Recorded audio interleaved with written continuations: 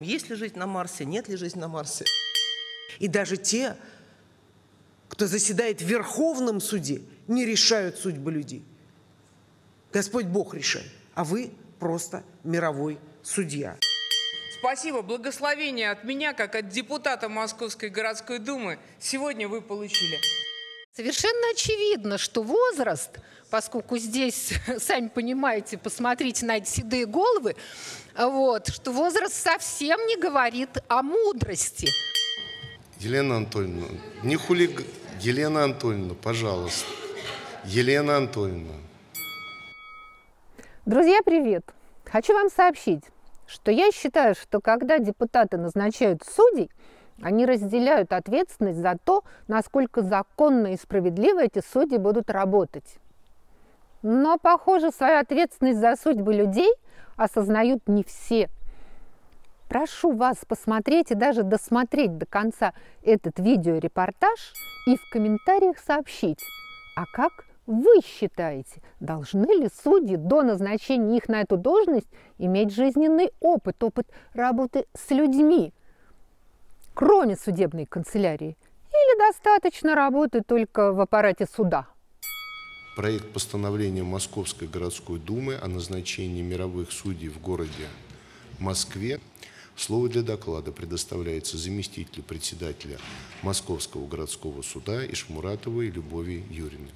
Уважаемые депутаты, прошу поддержать все представленные сегодня кандидатуры. Представляется к назначению на должность мирового судьи. В настоящее время занимает должность помощника мирового судьи. Представляется к назначению на должность мирового судьи. Занимает должность помощника судьи Московского городского суда. Занимает должность помощника судьи Преображенского районного суда. Представляется к назначению на должность мирового судьи. Занимает должность помощника председателя Никулинского районного суда занимает должность помощника судьи Перовского, о, извините, первого апелляционного суда, представляется к назначению на должность мирового судьи занимает должность помощника судьи Бабушкинского районного суда, занимает должность помощника судьи первого апелляционного суда, представляется к назначению на должность мирового судьи занимает должность помощника судьи Московского городского суда, где зарекомендовала себя с положительной стороны. Шувалова, пожалуйста. У меня один вопрос. Любовь Юрьевна, скажите, пожалуйста, какое знание окружающей действительности, какой жизненный опыт у предлагаемых кандидатов в судьи, кроме сидения в канцелярии судебных органов? Все. Все?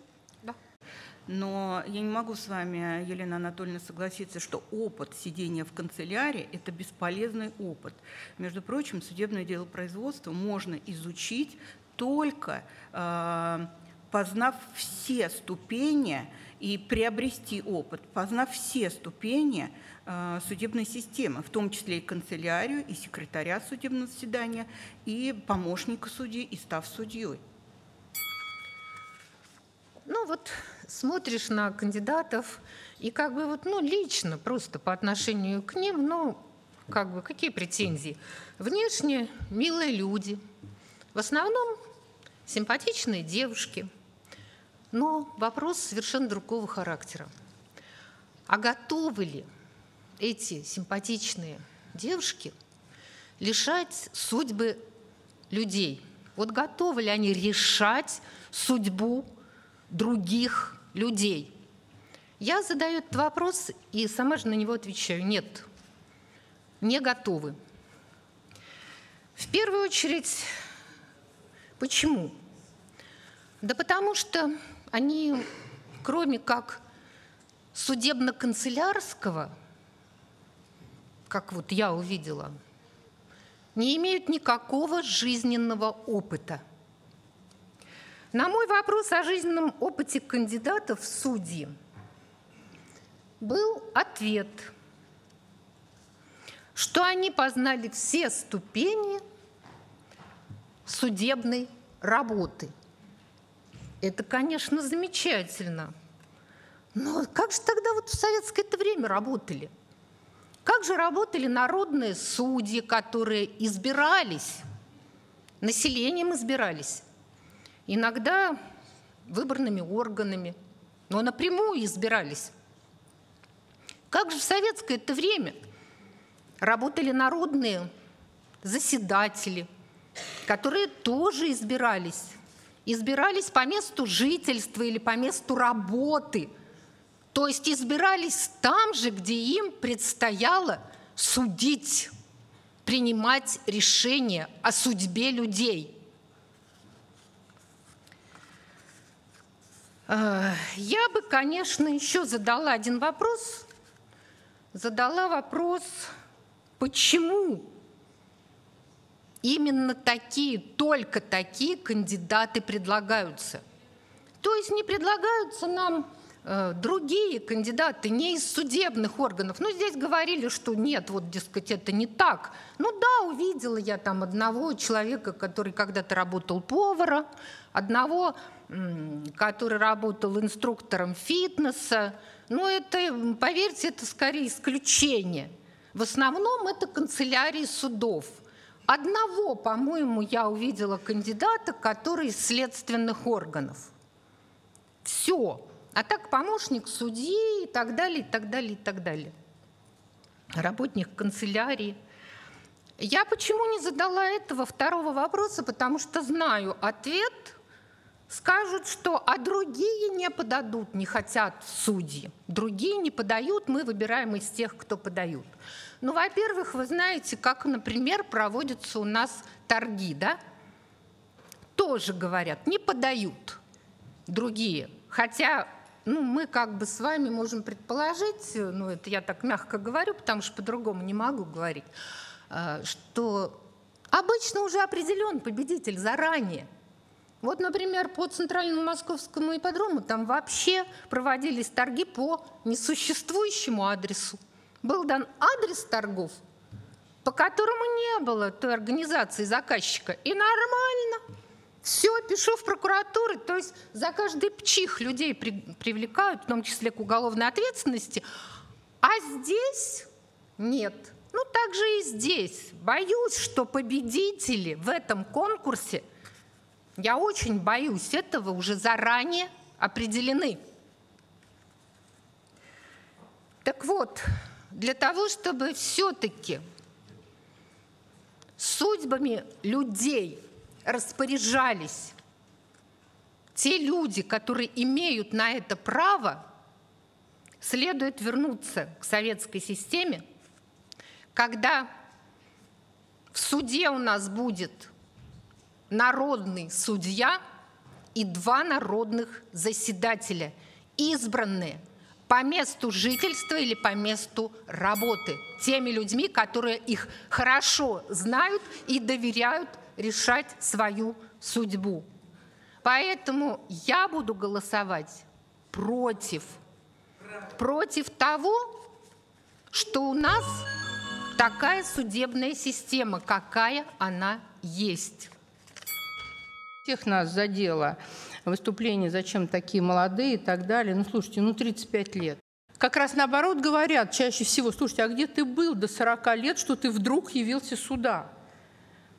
А, ты где-то там опыт набирался? Ну иди там где-то опыта набирался. Вот я пришла работать в администрацию президента Российской Федерации.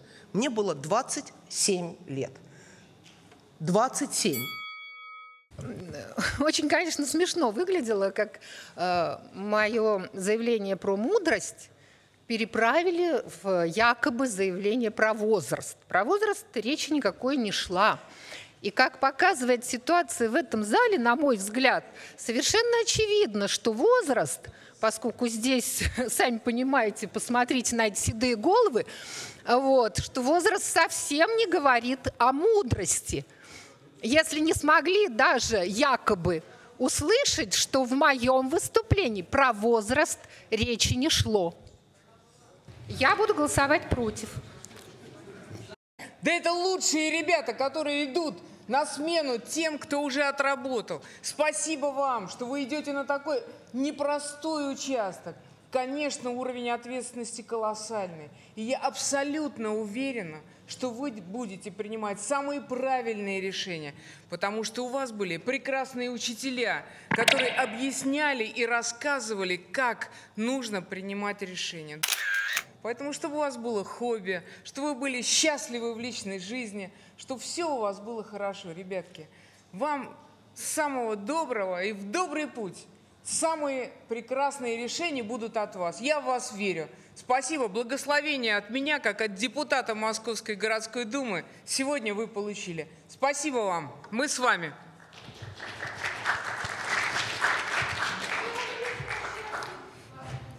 Елена Анатольевна, я все-таки вынужден вам сделать замечание призвать вас к порядку в соответствии со статьей 128 регламент.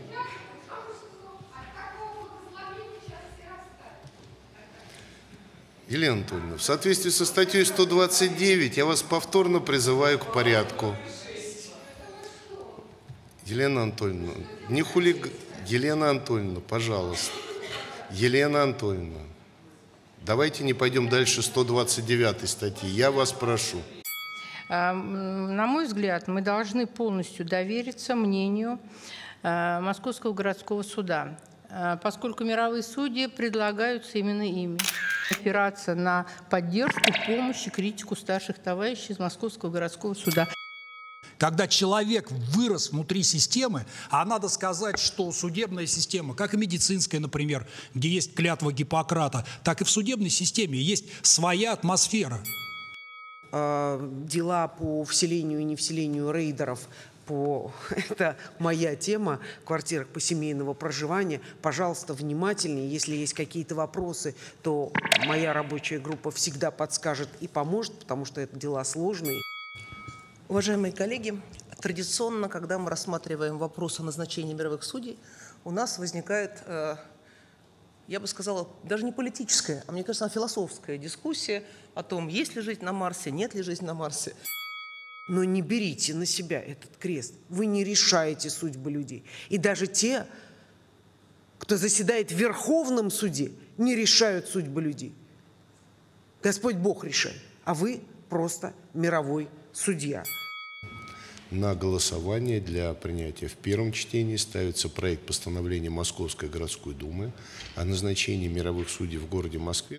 Внимание, идет голосование.